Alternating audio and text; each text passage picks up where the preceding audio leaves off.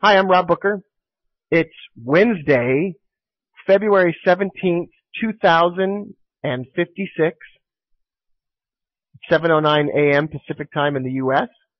And we are going to look at the British pound US dollar four hour chart. I have been wanting to look at this chart. I hope that's okay with someone. I think you guys are absolutely spectacular. It's a joy to be here. I'm thrilled to be hanging out with you today. I hope that um, you're enjoying your day wherever you're at. If you don't mind sharing with us where you are joining us from, I would love to hear where you're from, where you're joining us from right now. Crystal and Paul Volker. Volker. Welcome, Paul. Ireland, Manchester, Jupiter, my. Where's my? Oklahoma, Oklahoma. Are you in Vancouver? I'm in Fort Lauderdale. Barcelona, Fractal, Calgary. Could I look at mentally versus market sentiment in euro? Ed, Monterrey, Mexico, Malaysia. Are you in KL, Crystal? Stuttgart. Gluten Morgan. That's what I say when I have bread for breakfast. Republic of Texas, Italy. Wow. Welcome everybody. Welcome, welcome, welcome. Miles Texans are not allowed. That is funny. Here's the pound dollar four hour chart. Let's rock and roll and let you know exactly what's going on. Oh, Greece has been renamed um, Goldman um, Sachsistan because now Goldman Sachs owns Greece. Here we go. This is the four hour British pound US uh, dollar four hour chart. It looks like the British pound US dollar four hour chart is trying to recover and recuperate back upwards. Is it going to be able to do that? And if it does, where might it be going? Let me tell you, peoples, I think that if this currency pair can rise above this, I'm going to make this trend line blue and we're going to call it an entry line. We're not going to color it dark green. We're going to color it blue. Why? Because we're crazy. We're crazy like that. Don't you don't you mess with us. If we break and close above this blue trend line here, this tiny blue trend line, we're definitely, in my opinion, going all the way up to that green longer term trend line from the four hour chart. Howsoever, the currency pair has just finished barely falling below the 800. Barely, barely, barely. This currency pair, if it starts to fall back lower, if it falls below the 62 exponential moving average on the one hour chart, the H is not silent.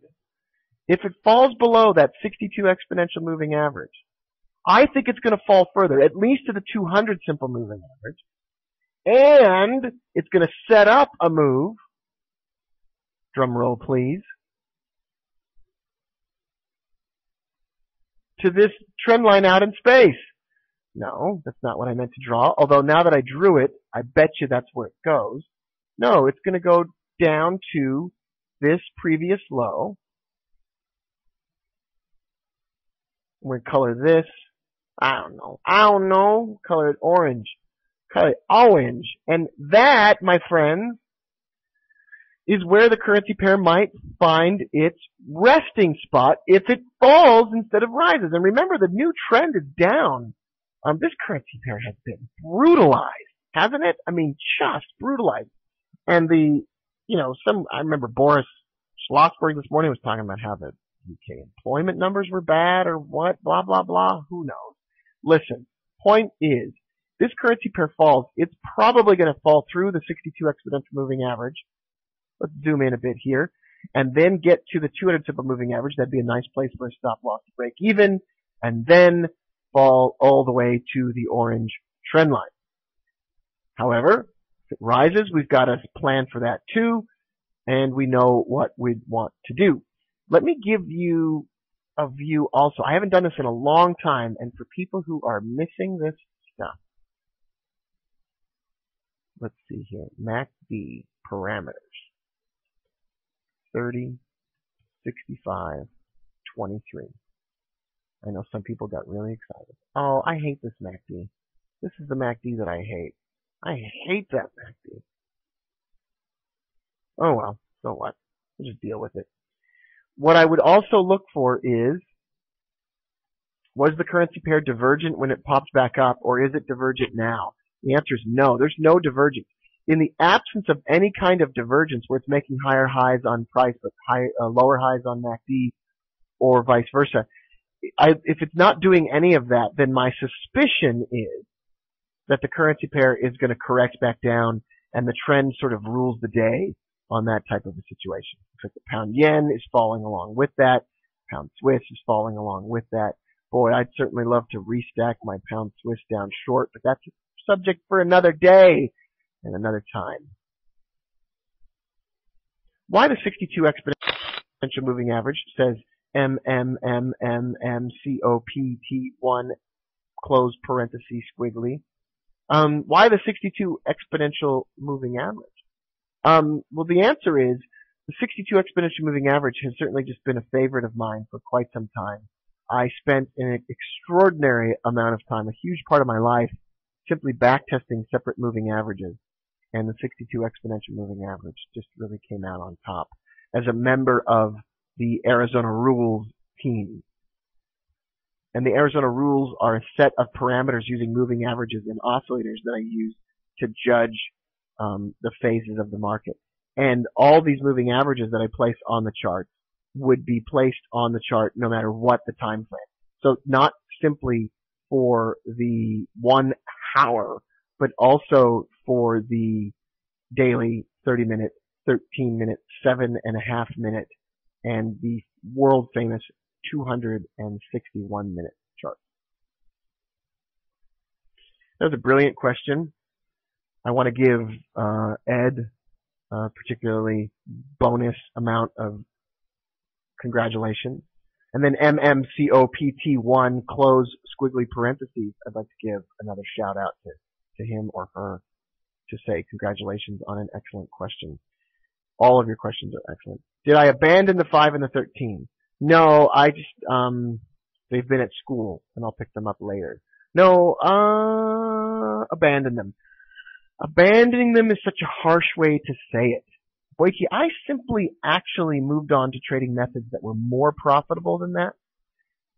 But I would gladly, at any given point in time, go back to trading the 5 and the 13. Although I would not like to go back and be 5 or 13 years old again. But I would go back and trade the 5, 13, 62 anytime. However, the methods that I'm trading now are simply more profitable. So that's an older method. Still works fine, but it's an older method and I like what I'm doing now much better. Jez says, so for the entry on the GU, short on the one hour, we wait for a close below the 62 exponential moving average and the profit target is 200 simple moving average. That's the answer and that is yes. And at the 200 simple moving average, you might move your stop loss to break even and target the orange trend line, which targets or goes all the way down to 1.5592, or you can round it up to 1.5600. And that's everything you ever wanted to know about the pound dollar one hour and four hour, but were afraid to ask. Isn't the MACD setting slower than the normal variety? Abel asks a brilliant question. Abel, you have just won a copy of my book in Japanese? The answer is yes. The MACD is slower than usual. Uh, I took a lot of flack about this for a long time um, because it just seemed so weird. But um, if let's just take a short poll before we move on to the next currency pair, which will be the euro dollar. Let's take a short poll, and you can simply answer by typing in some words on the HotCom window. How many of you have ever traded divergence? If you have traded divergence, just type in the words Abel is awesome. So yes, okay, lots of divergence. Lots of people have traded divergence. And the Volcker wave often is able. That is really funny. Okay. Um, so if you've traded divergence before, you'll know that you look for uh, higher highs on, well, let's just look for the last example of where we can find divergence on this chart. I love you guys. I just think you guys are the best. Just super awesome. I mean, hmm. probably the best people ever. Okay. Uh, divergence takes place when a currency pair makes, in this instance, a higher high on price. So the candles are rising. Howsoever, the oscillator of choice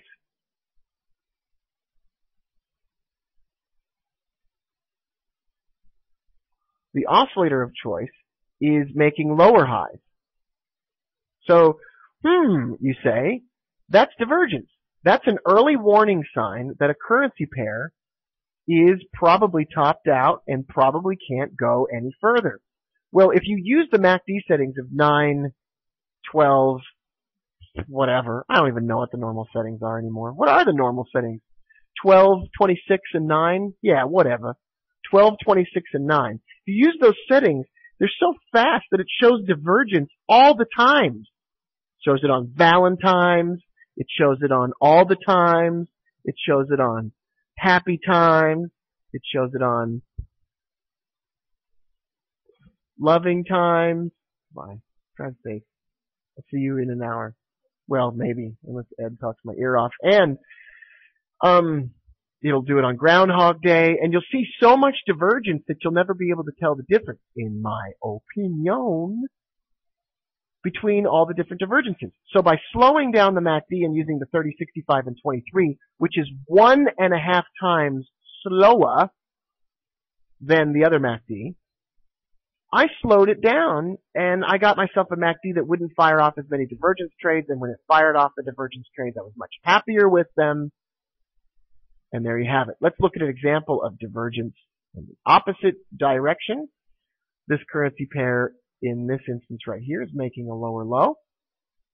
But the MACD is making a lower low as well. That's not divergence. That's what you'd expect. However,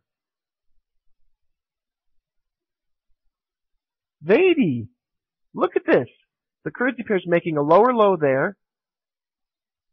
Pero it is making a higher low on the MACD there, and it's an early warning sign that the currency pair could rocket upwards and move up to the 62 and up to the 200 simple moving average and so forth. Okay, so that's a beginner's guide to the subject of divergence. For more on that subject, type in divergence into the internet or wait for my next book to come out, which will probably never be finished. That's the pound dollar. We've now spent an excruciatingly long amount of time on the pound dollar. Let's give up on that and let's move to the euro dollar, which I know lots of people trade. And why don't we cycle through the charts on the euro dollar here and see what the business is going on? Look at this. This is an example of divergence. Aren't you glad that we switched over to the euro dollar? We're down on a 15 minute chart.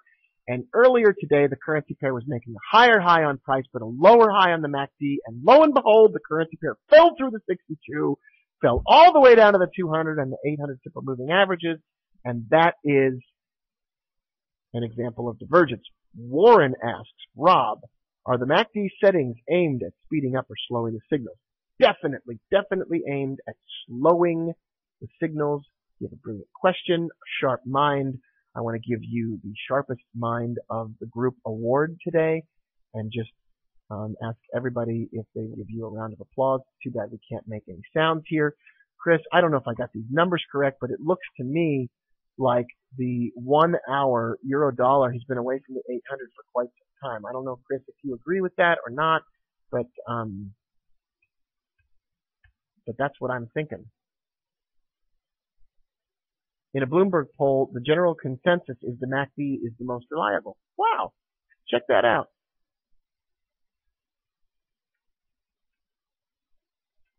So it's uh, the I don't know if I got the numbers exactly right.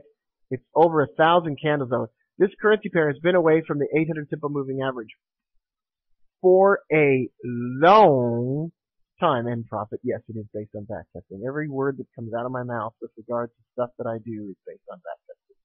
Absolutely yes. Look at the dollar and we'll take a look at this divergence. See, on the one hour chart recently, the currency pair made a lower low on price. But meanwhile, on the MACD, it made a higher low. So when the currency pair crossed above the 62 exponential moving average, it was an early warning sign that the currency pair would probably high move all the way to the 200 or all the way up to the 800 simple moving average. Bye. And that's, um, pretty much awesome. I leave spl- SPLA, SPLA, SPLA. I leave the um, MACD settings 30, 65, and 23 when I use it. I leave it on that setting all the time on every currency pair and on every time frame. I don't change the 30, 65, and 23 according to time frame. Ever. Because I'm not trying to approximate one chart's view onto another chart.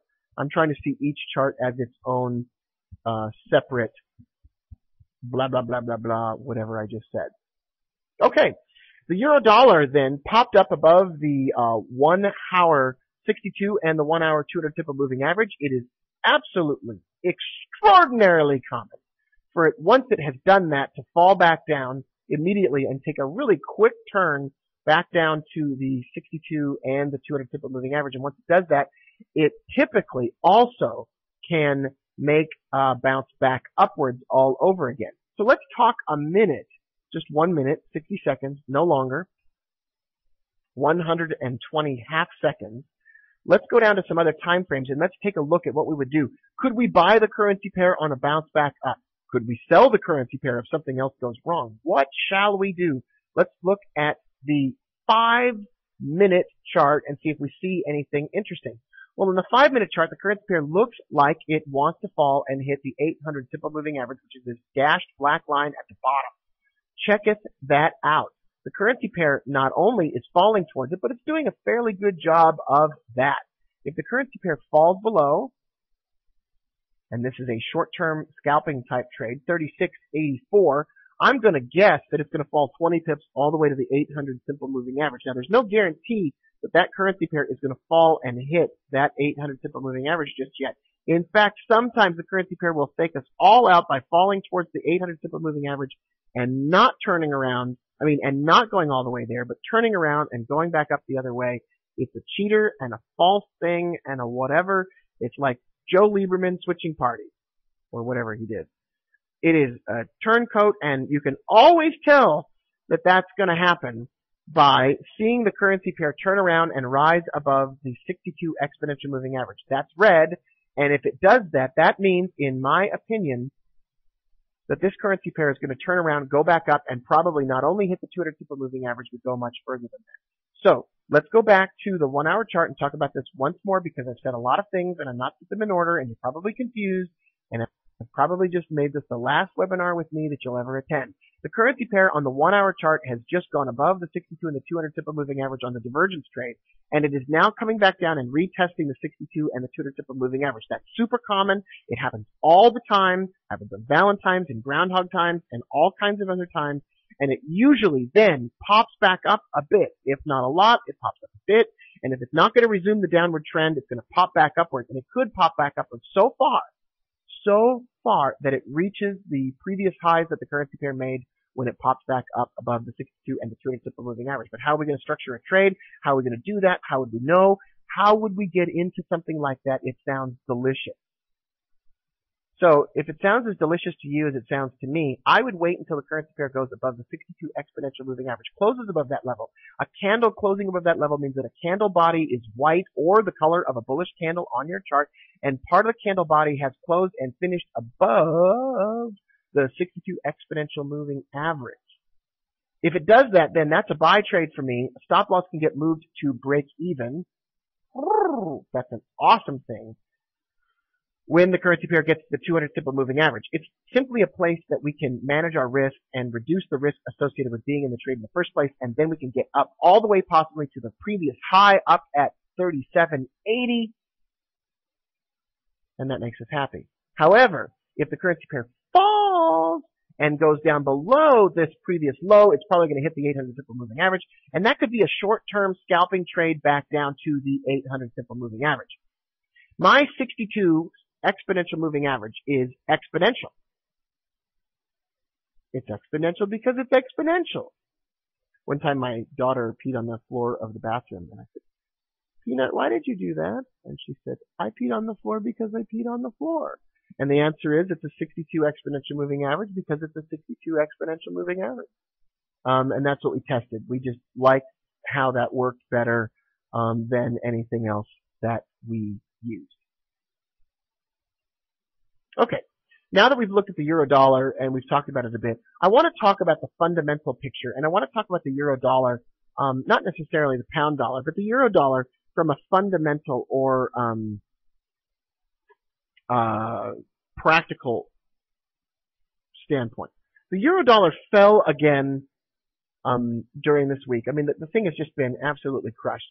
But then uh, we ranged back and forth overnight, and we actually from yesterday all the way into today, and if you go back as far as oh, let's say last uh, Wednesday or so, we've had a, a pretty significant rebound. In an interview that I did with Forex TV, that's forextv.com, with Julie Sinha, I have been talking about uh, the euro rebounding for about the last two weeks or so. I think that what we're finding is that the the rest of Europe, although grudgingly so, is probably going to come to the rescue of Greece. Now they're not going to want to do it. There's going to be all kinds of, you know, interim discussions and problems and whatever else. But generally speaking, I think that it's reasonable to say that the that they're going to come to the rescue of Greece. Now, if they don't come to the rescue of Greece, then that dismantle that's that's the first brick out of the wall, and I would I would venture to say we're going to see massive massive losses in the euro. I think we'd see the euro fall as far as a dollar thirty-two. If they don't bail Greece out, it will fall to a dollar thirty-two. Period. End of story. You can as soon as it goes through these lows down here, um, I, I would just sell the currency pair and go down 300 pips. Period. End of story. That's a fundamental story that you just can't avoid, and it would take everything else over. The problem is, um, the, the problem is if you can't, if you don't eat your meat, you can't have your pudding. How can you have any pudding if you don't eat your meat? You can't have that fundamental trade without the meat of the story getting put out. And that meat of the story getting put out isn't, it's not going to be, it's not going to be a, an article that says Germany refuses to bail out Greece. Euro, you know, boom. It's going to be something more subtle, like deliberations continue and traders are going to get concerned and traders are going to get worried and traders are going to become skeptical that anything's going to happen. So you would combine technicals and fundamentals. You'd read sketchy stories like the one we just talked about that said, you know, there's reluctancy on the on behalf of the Germans, and then you'd wait for a technical break below 35.28 or so, and then you'd throw a party, you'd put a hat on and get one of those kazoos, and uh, you might get yourself a, a cooler full of your favorite beverage. You'd sell the currency pair below that level. You'd put a stop up above 35.50, and then you'd just ride that sucker down to 32.50, 3200 even.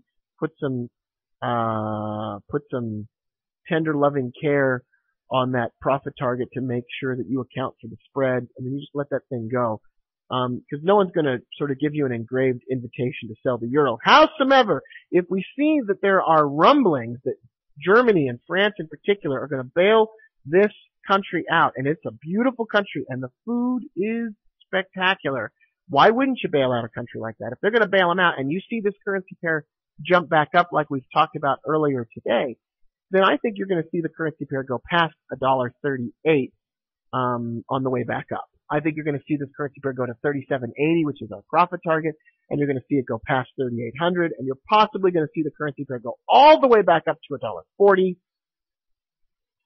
And at that point, I would have no further questions, Your Honor. Let me look at some of these questions. Why should they, since the previous governments skimmed most of the money away? Ed, that's a great question. That's a great question. That is a great question to bring up with Glenn Beck. I'm sure he would commiserate with you. Uh, would we be going back to the DMFR IRP lira? Never. It's never going to happen. If that happens, the euro will go to zero, zero. The currency markets will be embroiled in massive controversy. Only, and the only humans left on the earth will be Goldman Sachs employees. And, and they will be rich, but they'll have nowhere to spend their money because everyone else will be dead. If that happens, if it starts to break down and they say, forget it, we want out, the euro will, will drop a thousand pips each day for three days. And it will be mass hysteria. Dogs and cats living together. Tell them about the Twinkie. It was an accounting error. Honestly. 10 billion in currency swaps to postpone debt payment. We forgot we did that. Hi Rob. Please, how do you determine your stop loss? Is it a technical point? Jez. Um, okay. Jez here's what I do. I usually look for an area of previous support or resistance. If I were going to buy the euro dollar above the 62 exponential moving average on the five minute chart, I'm going to take the previous low of 36.85 and I'm going to put a stop loss 10 or 15 pips lower than that. So I just use an area of previous support or resistance. Do I see the euro going down to $1.15? asks Nakisi. That is an awesome name. Yes, but don't trade that. I mean, take it easy. You know, don't don't try to put some huge trade on. Never take a huge trade and act like you're gonna ride it out for like ever. Um, Goldman is really the Fed with Ben pulling strings. Probably true. Can Greece be thrown out of the euro? Yes, it can be thrown out of the eurozone. It won't be, but it can be. If it gets thrown out of the eurozone, if that's what happens, the euro will fall to $1.15. I mean, that would just be massive controversy because then there would be speculation as to whether Spain and Italy are going to get kicked out. And I don't know why you'd kick out the countries with the best food. I don't know why you would do that. I, I, this doesn't make any sense to me. Kick out the countries with the worst food first. Greece will jump before they get kicked to save face. That's probably a very insightful comment. Do I look at tick volume? No. EU should investigate Goldman Sachs' role in helping Greece to falsify their account. Gee, uh, when are we going to quit with investigating financial firms? Um, which is the best place to buy prime property is Greece, guys. Remember, boy, I'd love to go live in Greece. Blackbird. What about all that stuff the instructors on FX Street site said about the euro dollar one 170 to 180? Is this all gone with Greece? Blackbird. Uh, at the same time they were saying that, I was saying a dollar thirty-seven. So I don't know. I don't know. I don't know. I didn't like that. I didn't. Oh gosh, Curtis, tons of people said it. When I was at the Barcelona FX Street conference, I was like the lone, like perfect. I was like the lone person at the table who was like, no, I think the euro's going to go down to a dollar thirty-seven, and it just sounded stupid at the time. But um, you know, all these things came out. I mean, the truth came out. The truth shall set you free. Where did they get their idea from? Blackbird, I think they got their ideas about bullish Euro stuff from technical analysis primarily. So they were looking for retracements to go to a, a previous level that was back up above. And I believe that they, they thought that Europe was better positioned to withstand a financial crisis across the world. But the problem was that the banking system in Europe still has problems that we don't know about and um, that still hasn't gotten flushed out of the system. Yeah, Ed, Ed, your your comments are spot on. Thanks, Ed. Thank Ed.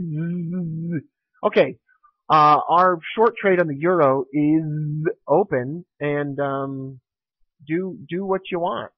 Greece is the word. It's the word. It's got groove. It's got meaning.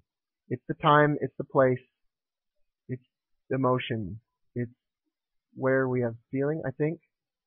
I think that's what it has. I'm not sure. I'm not sure what Greece has. Greece is the word. Okay, um, I would like to, um, I would like to now look at one more currency pair. And since we all love the pound yen, let's look at that. Hope you sold the euro. Hope you got a piece of that action. Did you know that a piece of the action, that phrase, I was just reading, Chris, in the book Ascent of Money, comes from the Joint Stock Corporation in uh, in uh, Holland and Amsterdam. And in Amsterdam, when they created the Joint Stock Corporation, they gave you a piece of the action, which was a Dutch word, and it was a piece of the stock or a piece of the ownership of the company, and they called it like getting a piece of the action. So I just thought that you'd want to all know that. And now you're all like way smarter than when we began this webinar, which is almost over and coming to a an eventful conclusion. ¿Por qué? Porque el pound yen es divergent, es slightly divergent. We have a currency pair making higher highs on price but lower highs on the MACD on the 15 minute chart the currency pair, if it falls below and closes below the 62 exponential moving average, that creates a divergence trade that goes down to the 200 simple moving average. Howsoever, this is a 15 minute chart, and if the currency pair instead goes above the highs, above 143.61, I think this currency pair is headed easily for 144. I'd buy the currency pair at one, in fact, I have orders to do this. I'd buy the currency pair at 144.70 with a 30 pip profit target at 144 even. Action is the word for stock in many languages. No kidding.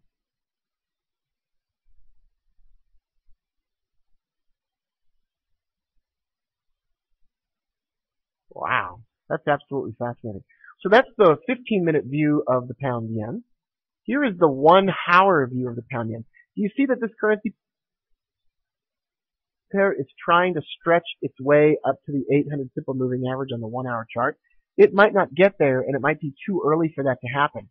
But I think that that's exactly what's starting to play out here is that this currency pair is making an early attempt to get up to 145 even where the one hour 800 simple moving average is um, located.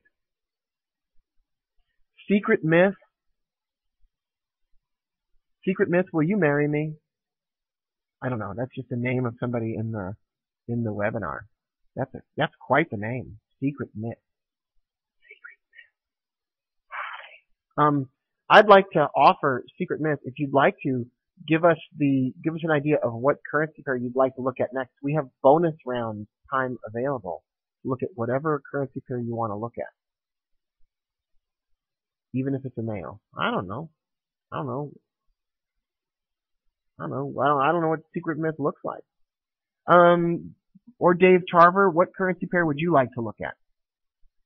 Jez, you're not secret myth. Jez, I didn't, I didn't offer you the chance to choose the currency pair. You're out of line, Jez. Dave Tarver asks, he wants to see the, the gross domestic product of Switzerland. Excellent, Dave Tarver. Let's look that up. Oh, pound Swiss. You got it.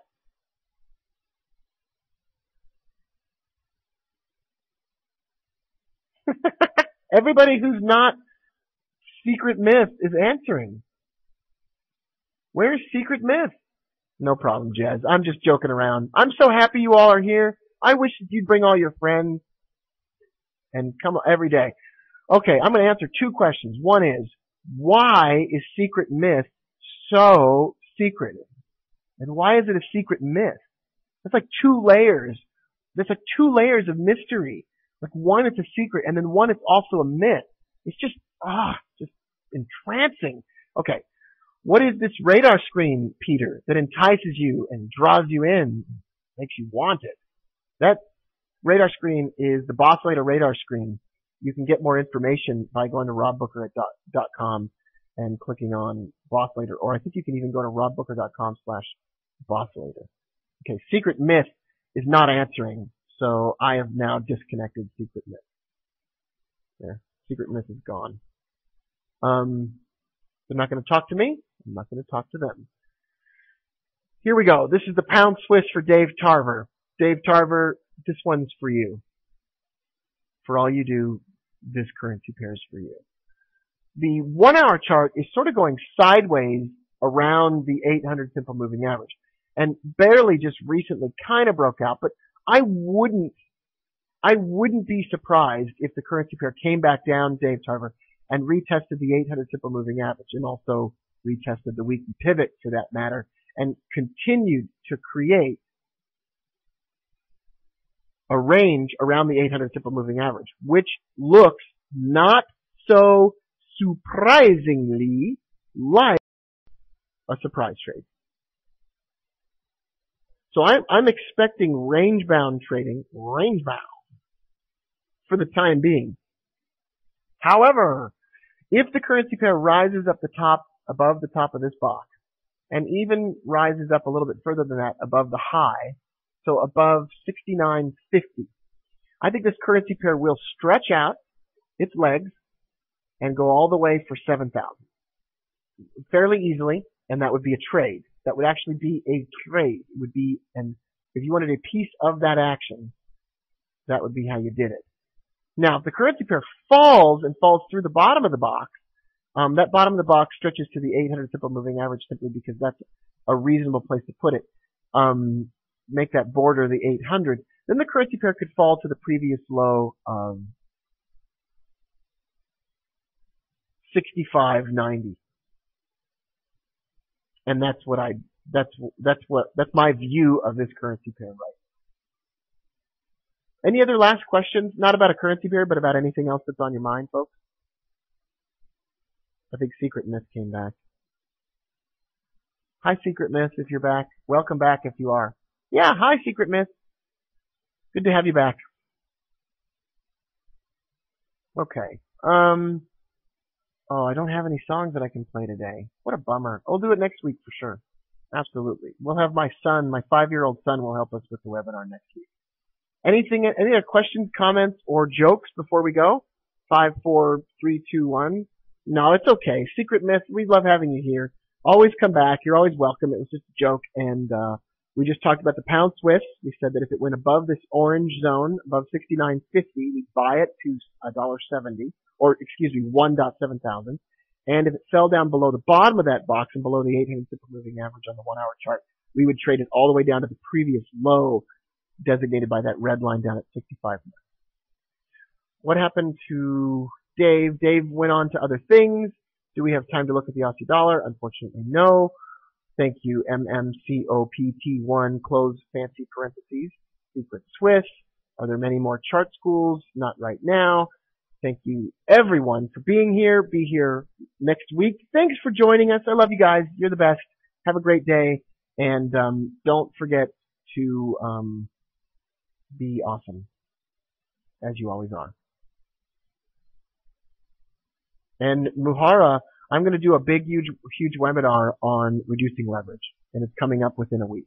I'm going to do a big, fat webinar about it and talk about all my views on the subject.